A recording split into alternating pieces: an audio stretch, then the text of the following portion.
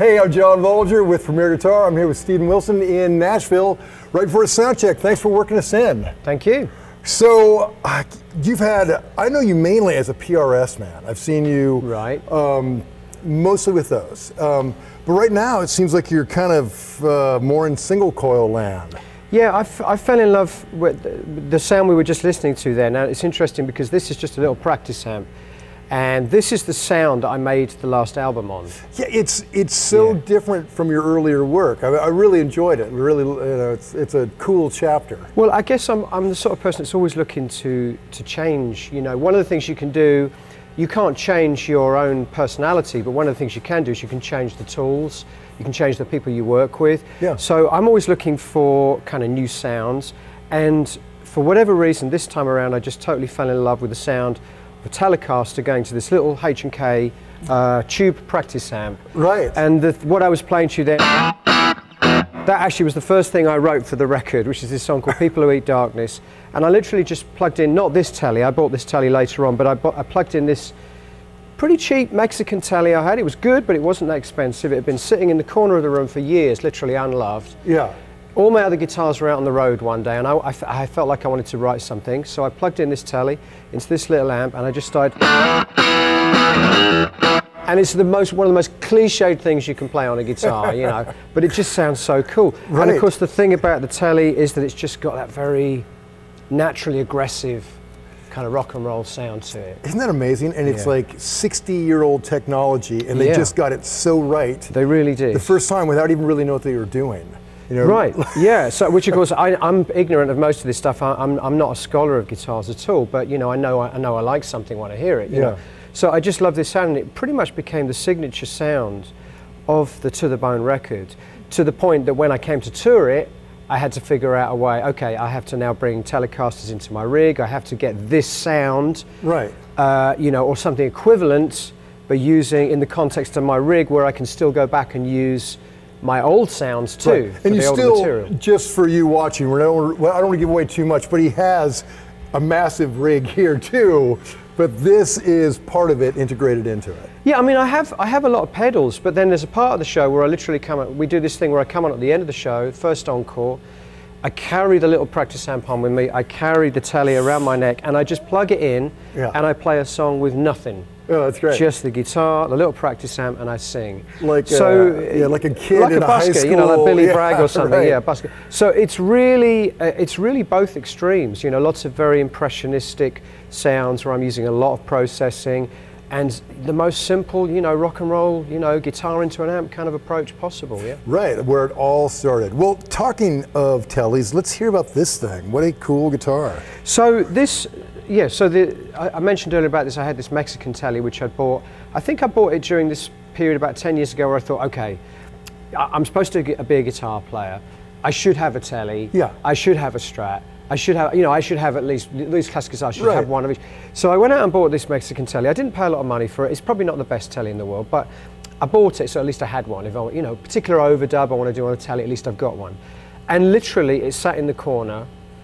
I didn't touch it for about 10 years. Literally, it sat there untouched. And it was only really because I had this situation where all my other guitars were out on tour that I had to use this guitar. So it was um, serendipity, as they say. Right. And it started my love affair with the telly. Now, when I got to the point where I knew I was going to make the record, and I was going to be using the telly a lot, and I knew I was going to be touring with the telly. I thought, okay, I should go out and I should go out and get a really, really good one now. Right. And I went down to the Fender, the Fender uh, showroom in, London, In London. and I just tried a lot of their guitars out. And you know, it's like with a guitar, it's it's it's whichever one you bond with, right? Right. I know nothing about guitars. I can't talk about pickups or neck, you know, different types of wood. It means nothing to me. Firstly, I just thought this was the coolest looking guitar I'd ever seen. It is seen. a very cool looking guitar. yeah. And they said to me, well, it's a, a custom 1960. It's from a, it's a 1963 from the custom shop, uh, which meant very little to me, except I like the idea that it's from the 60s. Yeah. Um, except it's not. Of course, it's a it's a replica of a of a, of a 63.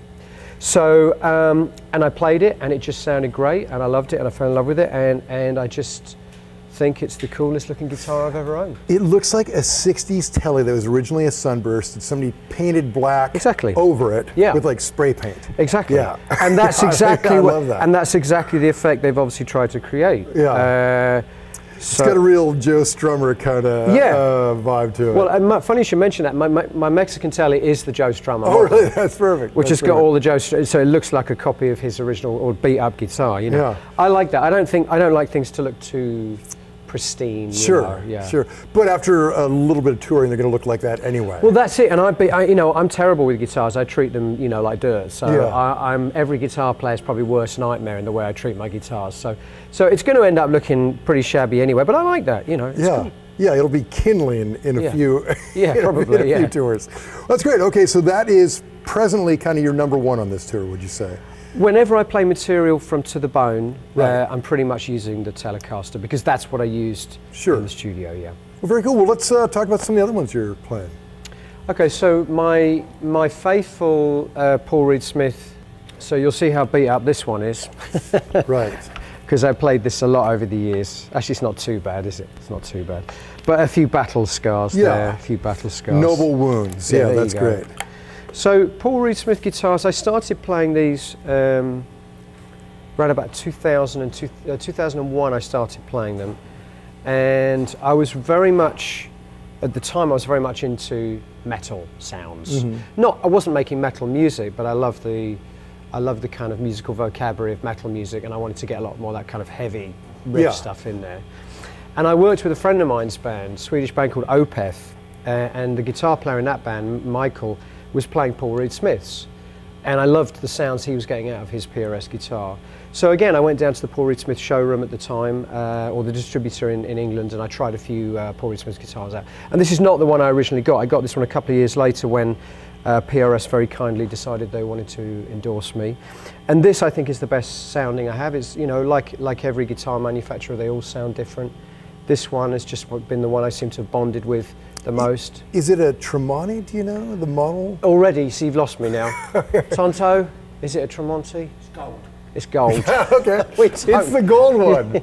yeah. Sorry, you're speaking to a real idiot, and a real idiot here. I don't know all this stuff. I really don't know. Honestly, all I care about is does it sound good. Yeah. You're talking about the pickups, right? Well, the um, I th- uh, I thought it might. pickups, oh, they're, right. oh, they're DiMarzios.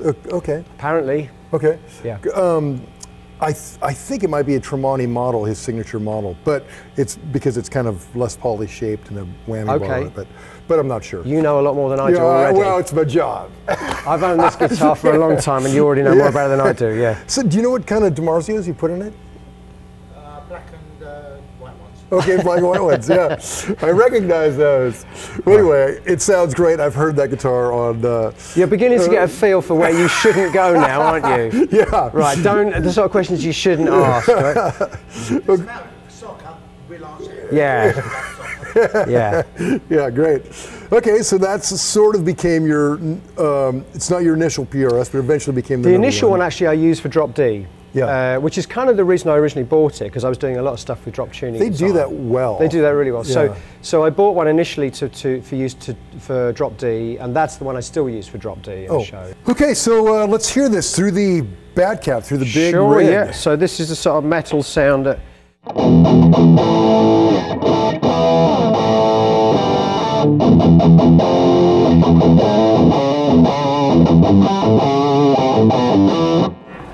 So that that was kind of what I wanted the PRS to do. Those Right. big big metal riffs. Yeah, that is huge. It's actually shaking my body. And that's through the and that's through now that's now through the bad cat. yeah. yeah. yeah. that's fabulous. Okay, so between the telly, this, and then what's your third guitar? Your So the third guitar is, is another PRS, but just in drop D. So uh, we can whip that out if you like, Ton. So this, so this is your your first. this is the one I originally uh, bought, the first PRS I ever owned. I actually went to the to the showroom in, in England and chose this one. Yeah. And this one we use for for drop D stuff. So similar, you know, similar.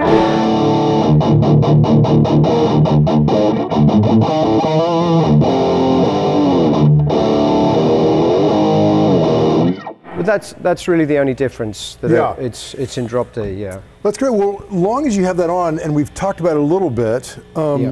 Let's talk about this amp you're running into. Okay. So this is uh, this is a Bad Cat 50 watt Lynx head, um, and I've been using Bad Cat amps exclusively now, probably for about 15 years. And again, it was a very similar. It was around the same time. I wanted something that would give me the big crunchy metal riffs, but also have the flexibility to do all the other stuff I do too. Sure. And uh, I've been using them for a long time now. Yeah.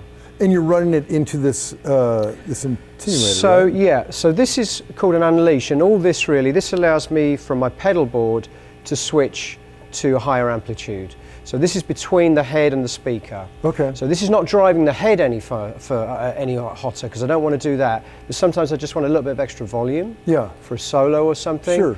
So I can program a patch in which basically switches to the other channel on the unleash, which you can see.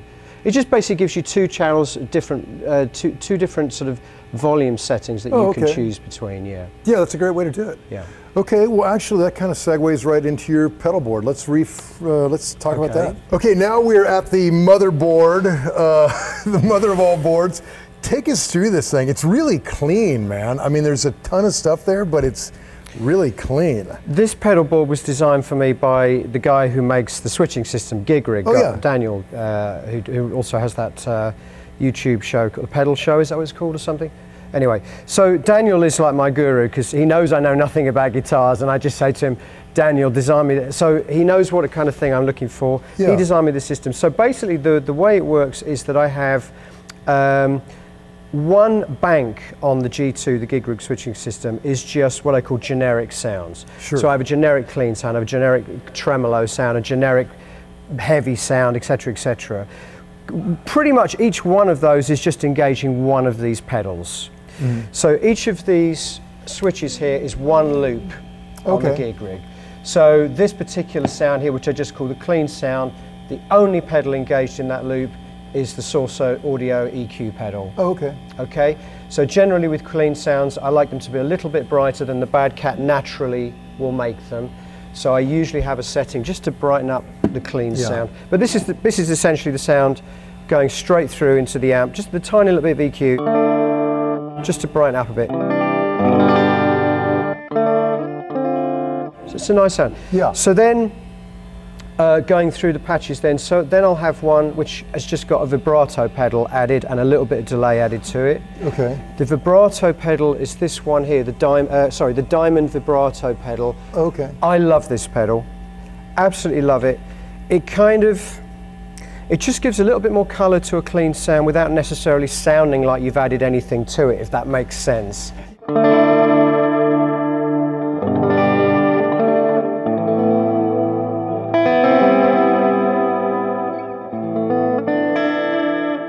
So again, it's just a little touch of delay and a little bit of vibra- vibrato, and suddenly that sound is much richer, more colourful.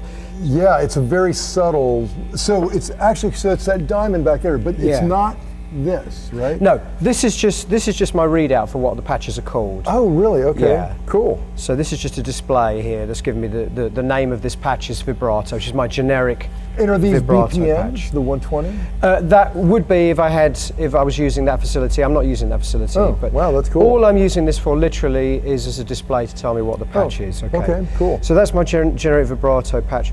So then I've got what I call my generic Pete Townshend patch. Now, one of the things that's nice about the the GigRig is you have pre and post gain. Yeah. So you can drive the signal either end of the signal chain. So on this sound, it's essentially still a clean sound, but I've just given it a little bit more drive to the amp using the post gain to get the bad cat to just break up a little bit earlier. I've got a touch of compression from uh, Oh, the, the Cali Cali. 76. Right. The mini one. Yeah. Yeah, Cool. yeah. I'm a big fan of using 1176s in the studio, so it, it made sense for me to have this as a pedal. And I've just got a little touch of, of room reverb on it as well.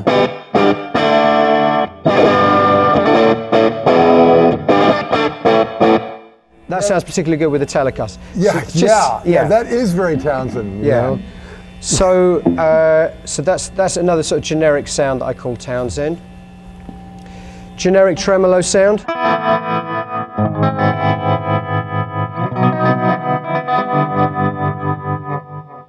Yeah. That's great. Just tremolo and and a little bit of delay on that, and, and, And- the compressors in as well. And what tremolo are you using that? So that's the Moog. That's the Moog Oh, tremolo. great. Okay. Yeah, sure. Those are great. We did a review of those. They're great. Really nice, yeah.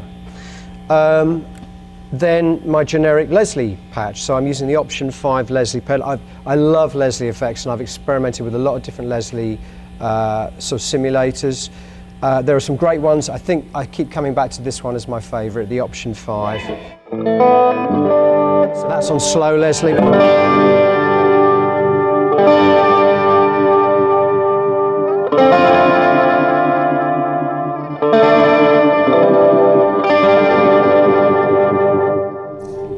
That's cool. I love the way it ramps up. It's not like immediately fast. You Right. can kind of and you can set the time. Like, uh, uh, and you can set uh, the uh. And also, it has that thing I love about real Leslie cabinets. It gives you a little bit of breakup and distortion as well, a little bit of drive. Yeah. Well, option five. I've not seen this before. That's that Very sounds great. cool, yeah. Yeah. Okay. Great. Um, so the next of my generic sounds would be what I call ambient leads.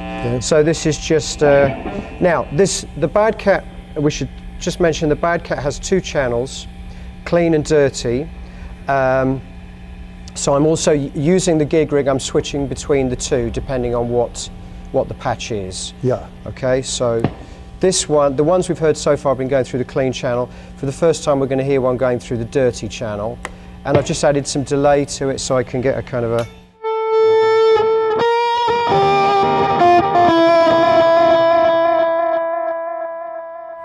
One thing I should mention here I'm a massive fan of putting delays before the drive stage, if you know what I mean. Really.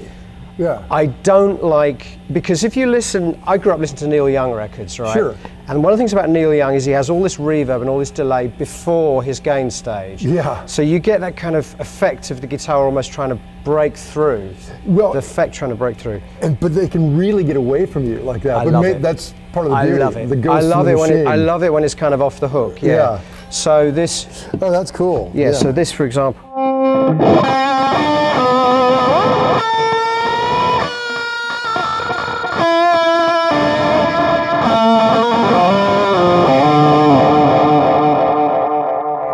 That's rock and roll to me. Right. That's huge. That's rock and roll, yeah. Now I do have the option also to um, to do it the other way, but I have to then go through the clean channel. Uh, yeah, clean channel using uh, a Prince of uh, Prince Prince of Tone pedal, and then of course I can get the clean delay if I want Sure. to. So I do have the option.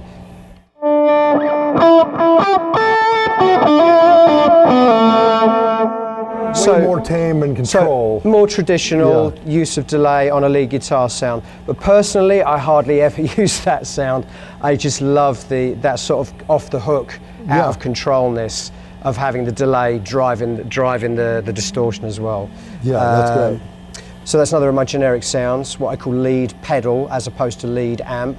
So lead amp, this is this is just literally using the bad cat uh, gain.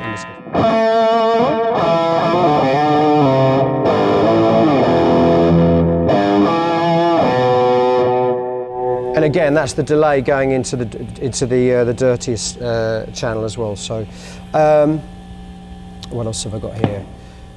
Just a generic crunch sound. So this is using the Amptweaker pedal. Do you know this one? Uh, yes. Yeah. So just. Uh,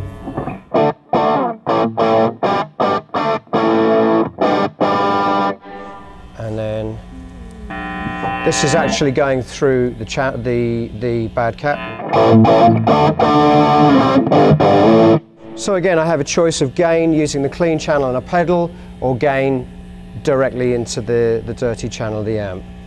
Yeah, it's great to have all those different options at your feet. Yeah, that's too cool. very very different in character obviously one Yeah. has got one you've got more control over in terms of amplitude and sound and all that stuff but there's something about going through the dirty channel that to me is always more rock and roll always more organic Yeah. more real. I don't find i use the pedal processing so much uh, in those contexts. Right and then the sound you already heard just my basic metal sound which is literally just guitar nothing at all from the pedals into the amp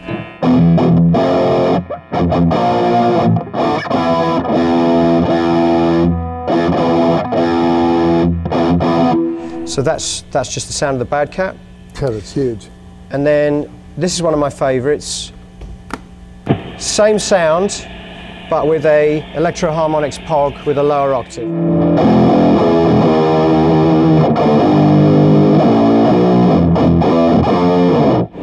Use that a lot too. Yeah, God. I use that a lot too. That's huge. It's like you think the stage is going to collapse when you hear that. It's- Yeah. it's Yeah, so- melted a And you're running two pogs. I am. I've got one, um, one for a lower octave and one for a higher octave. Oh, okay. So it's uh, Controlled independently through that. yes. So that, well, they're two completely different pedals. So they're two different loops on here. Yeah. So I can add a lower octave or a higher octave or both if I want to. Yeah.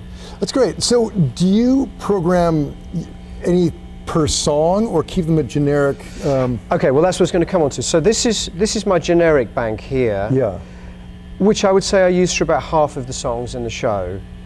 The other half of the songs, where there are more complex songs which require a lot of different patches with very, very specific delays or reverbs, for example, which we're going to come on to in a minute, then I will actually create a whole bank for a specific song or half Oh, yeah. a bank. That makes sense. Yeah, but this is the generic bank. I would say this is kind of a one, size, one size fits all for about half the show, half the songs in the show. So my last couple of generic patches are, again, a metal but with some delay added. Uh, where are we?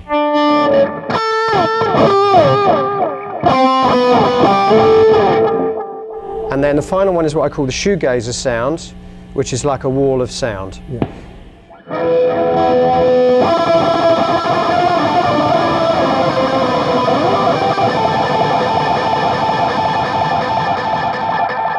Again, all that delay's going into the into the dry in the driven channel. You know, I love it. It's a mess. I absolutely love it. Yeah, that is big. Yeah. So that's my generic. Um, so uh, just one thing to mention is the, the, the reverb and the delay I'm using. They're both Strymon. Strymon Big Sky for the reverb, Strymon Timeline for the delays. And that's midied up to the, the GigRig here. So every setting, delay and reverb wise, is unique to every patch I go to. Whereas, of course, it's, that's not true of any of the other pedals. Mm-hmm. Actually, no, that's not true. The EQ is also MIDI. The EQ can be unique to each patch, and these two can be unique to each, each patch. All the other rest of the all the rest of the pedals stay in their specific state throughout the whole show. Yeah, the more like analog. Yeah, yeah. The only one I haven't shown you is the is the phaser, which I'm using the small the Electro Harmonix small stone phaser, which is.